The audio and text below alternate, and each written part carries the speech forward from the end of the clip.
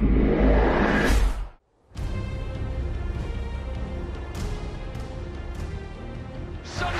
have been destroyed. It's 8 0. I think it's uh, probably the most embarrassing time I have in, in a football pitch. Aston Villa have come here in the heat of a relegation battle, and they are ripping Sunderland apart.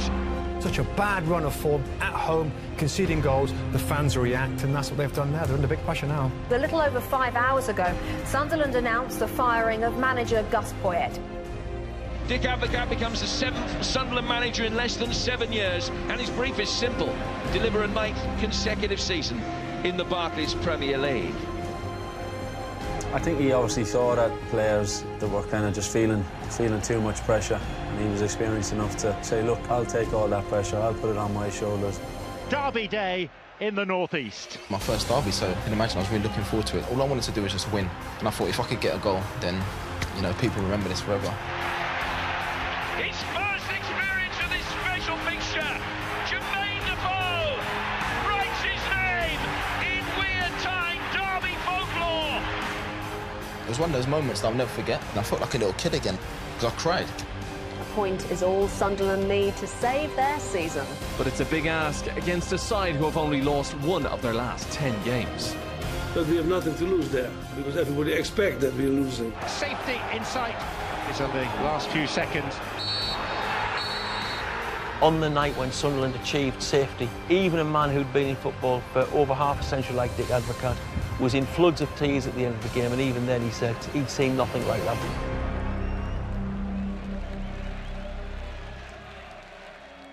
Sunderland's blue-collar roots make it an unlikely location to attract an American teenager. But for California-born Lyndon Gooch, the city's insatiable appetite for football was intoxicating. It's probably completely different to anything you'll experience. I think the, the city revolves around the football club, and you know that straight away. I mean, you had opportunities with other Premier League clubs. West Ham, London-based. It's what most foreign players look for in a team. What made you, out of all your options, choose Sunderland? I don't know. I, I, it was just it just felt right. You know, I obviously knew the people in the club a long time, all the coaches, and they looked after me and my dad really well when we'd come over, and they were just great people to be around and, and work for. How did the waves on Roker Beach compare to those that you grew up with in Santa Cruz? Yeah, it's it's definitely a little different, but uh, I love them both. I've, I mean, four and a half years here now, and this is definitely my second home. And yeah, it might be a little bit more windy and colder, but uh, I love it. The name Sunderland itself, it means the sundered land. It means a land apart. Geographically, we're on a little bit of a limb. Nobody ever drives through Sunderland on the way to somewhere else. Sunderland is, its, is a destination, or you, you're just not coming to the place at all. But once you're here, for a lot of people, our former chairman and former player and briefly manager, a famous player called Niall Quinn, summed it up beautifully when he said that Sunderland had got under his skin. You know, a lot of people from outside the area do come to Sunderland, including footballers, and tend to stay here for the rest of their lives because sometimes Sunderland does get under people's skin. And certainly if you're from here, you tend to be very, very proud of being from Sunderland.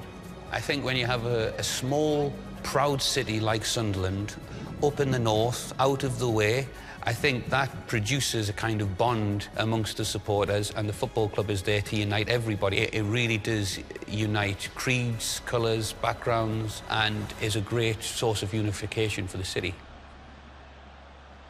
It's no surprise that the style of football favoured by the club shares the hallmarks of the city's most dominant and revered values. Obviously a very passionate city, especially about football, uh, and that's something I've learned since I've been here. Obviously the industry plays a big part, car manufacturing is a huge part of it. That's played a key role in the, the economy of the area too, but also then they've worked hard all week and then they come and support our team um, at the weekend. And uh, since, thankfully since I've been here, we've been able to stay in the Premier League and keep that run going for, for the team in the area.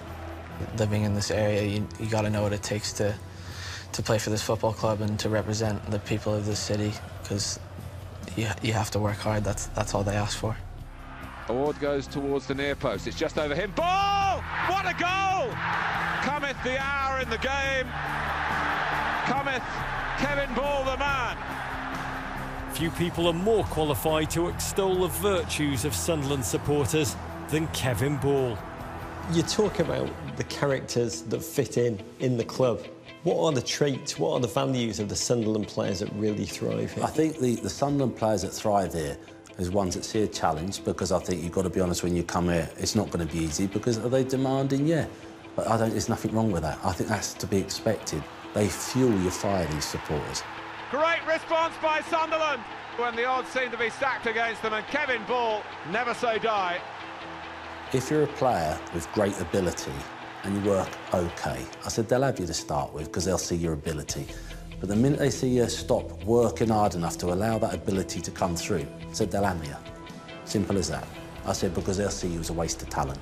I went, and if you do that, serves you right. I've got no sympathy for it. If you're a player who's got what I would class as good football skills, but with a massive heart or work hard week in, week out to achieve, they'll just love you.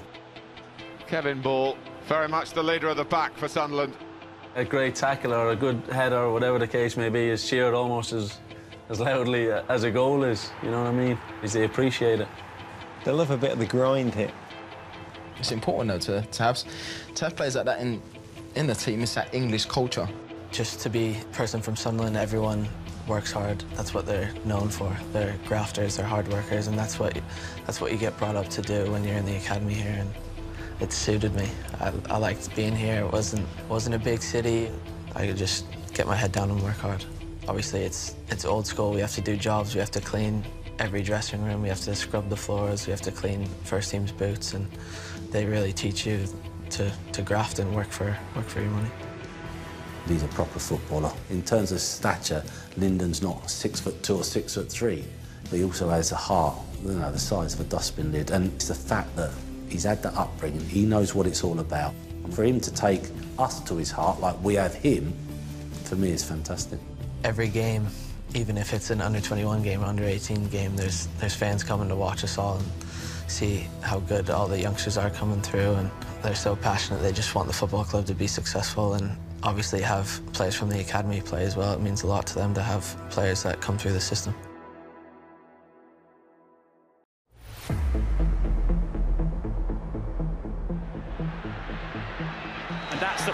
Whistle. Sunderland's wait for a first win of the season goes on. Can you clear up your future? No.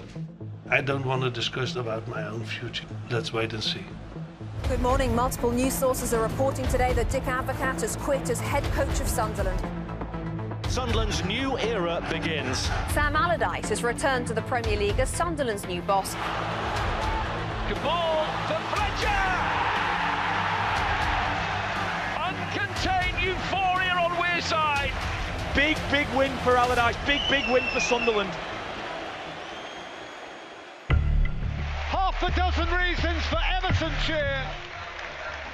Sunderland after the uplift of last week. This is a horrid crash back down to earth. Sunderland's worrying campaign continues. You know, we have to face the facts, and we didn't really produce enough quality. As we go into 2016, Sunderland just hoping that they can stay in the hunt. Seven points adrift of safety. You know, it really hits you and you think, the games are running out. We really need to start getting results now. Here come the teams for a massive match. We played Chelsea at home, losing. And I have to say, the, the team spirit was just like, it was unbelievable. It's Borini! It's in! Fabio Borini! Sunderland are level again! Yedlin onto it. It's Defoe! It's extraordinary! It's breathtaking! Where there is Defoe, there is hope! It was unbelievable, to be honest. You know, you get the goosebumps and stuff and that. But that roar at the end,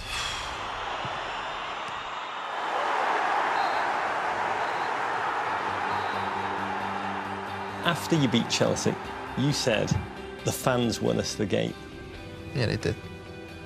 Just the atmosphere in the stadium, it was just, even when you're fatigued and you're tired, you just, you find a little bit extra. Sunderland will confirm their safety and condemn Newcastle and Norwich to relegation if they beat Everton later. Khazri almost scored direct! Now they've got their goal! Sunderland have found the way! Another extraordinary escape. We have put our fans through the mill somewhat in, in recent years. Certainly we are the Black Cats and in the last nine years we have made full use of all of those nine lives. It doesn't matter how many days you spend in the relegation zone, what matters is where you are when the season's finished. Sunderland in recent years have always managed to finish the right side of the line and we intend to finish the right side of the line this year again. You've said to me, the people here, they build their life on three pillars. So there's three pillars, uh, I think, for the people of Sunderland, and that is, first of all, work, and traditionally that's been heavy industries, such as uh, shipbuilding, uh, the pits, the mines. Um, the second pillar is faith. It's a very religious uh, city. Uh, the monks came here over a thousand years ago. That was a, a kind of uh, cradle of Christianity in the north of England. And I suppose the third pillar, which unites all the city, whether they work down the pits or in the shipyards or in the shops, doesn't matter what religion they are, the third pillar that unites them all is the football club. It's like a mega church that they never stop believing in. Yeah, I think uh, the, the, there's a lot being made of that because it is like a religion. It, you know, it's about coming together. It's about belonging to a, a, a community. It's not a big city. It's a small city, and, and, most of the city will be watching the football games when it's on. It's about coming together and uniting behind something that they believe in very strongly. Your team, they seem to have two gears. Slow start to the season, in which they don't really gain many points at all yeah. You say that's the test of faith. And then they have that climactic final straight in which they beat all comers and just escape doom yeah. at the last gasp. A footballing miracle. Sunderland are safe. A performance of guts and defiance in North London. This famous old club will be among the elite once again. Which state catalyses more religion amongst the fans? well, I suppose every year we start off with optimism and yeah you know you hear people in the church saying trust in god this is going to be our season. We'll be pushing the top half of the table. And then by the end everybody everybody's religious because they're desperate to stay up and not be relegated and want to stay in what is the best league in, in, in the world. And we've managed to do that it's amazing, really. When things aren't going bad, my, my church is in the city centre of, of Sunderland, so I put a big board out on match days saying, come in and light a candle for the team. On match days, you'll get a couple of thousand people on their way to the match coming in, and it shows that actually they, they're putting something in this. They want all the help they can get, and we've needed it. Tell us why. You cancelled Easter Mass. Don't tell my bishop, yeah. yeah. It was a big day, not just because it was the resurrection of our Lord in the church, but because it was also the Derby Day where we played our arch local rivals, Newcastle. There is no more heartfelt occasion in English football.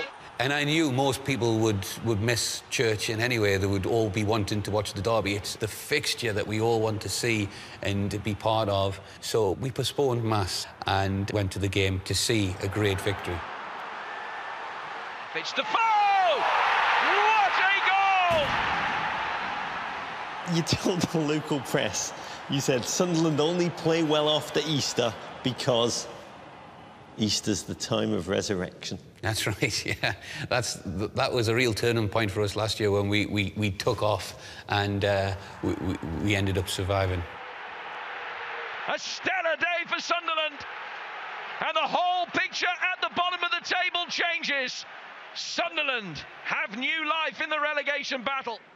You do have a fairly unique but rational explanation for at least one of the relegation escapes? Well, I was going, um, I was going to Rome a few years ago, and I met the Pope. I was lucky enough to get an audience, uh, and Pope Francis is a huge soccer fan. Um, and he used to be a season ticket holder in when he lived in Argentina in San Lorenzo. He's, he's interested. He does. He gets a Swiss Guard to bring him a newspaper every uh, every Sunday morning with with uh, the result in. So I went to meet him and I presented him. We ha we had a Sunderland strip with Papa Francesco written on the back, uh, and I give it to him, and he said, "Oh, um, Sunderland, um, oh, not do too well," he said in his broken English. And I said, "No." So he knew he had been watching, and I asked him to hold it up, and we got some great photos of him holding up a Sunderland strip. And I said, "Will you do us a favour? Say a prayer for Sunderland." Oh yes, he said. Uh, um, I pray for Sunderland, you pray for me. And I said, deal. And um, he took it away, and uh, then we came home and we beat Newcastle on the Saturday. So there you are. Pope Francis is a Sunderland supporter as well. Sunderland, a club transformed today. It is Derby Day delight for the men on Wearside. Intervention at the highest levels. Uh, absolutely. Why not? It wasn't the only time prayer has led to wonder ahead of the Bournemouth game. Good afternoon from a sunny afternoon on the south coast. It's for the 11th time of asking David Moyes. Sunderland hope to record their first league win of the season. You crafted a prayer for the players, the team, the city. Yeah, I put it on my Twitter account and uh, put it out there and uh, got a few retweets and people took to it and, and said the prayer. Stanislas finding Smith. Gosling finds the net. Wonderful move from Bournemouth and Sunderland's woes are compounded. The Lord our God fill all the Sunderland players with strength in mind, body and heart so that they can do their best for each other, for all of the staff and for all those who support them. Defoe, Van Aanholt outside in. Those two have scored all of Sunderland's Premier League goals between them so far this season. Anichebe's rectified that, though. Out of nothing, the Black Cats are back on level terms. Grant them self-belief and a spirit of confidence. Amen. Here comes Sunderland with a rare attack of their own. Anichebe fouled by Smith. And Sunderland have a penalty and a chance to take the lead. Jermaine Defoe in the 600th appearance of his English club career. 2-1 Sunderland. It is an extraordinary scoreline in the context of what we've seen. And that was our first victory of the season, so the power of prayer never lets you down. They got three points, and afterwards you tweeted, well, that worked. power of prayer, what more can you say? Euphoric scenes from the Sunderland supporters. David Moyes' Black Cats are off and running. Finally, in the 2016-17 Premier League campaign, they have that elusive first victory of the season. What if God is a whole city film? I, I don't think he, I don't think God uh, would back or pit clubs off against each other. I think he's at work in the people in every club. Um, wherever there is goodness, wherever there are, um, wherever there's a sense of community, wherever there's a sense of passion, wherever there are gifts and talents being used for a, a team and for other people, then God is present, I believe. So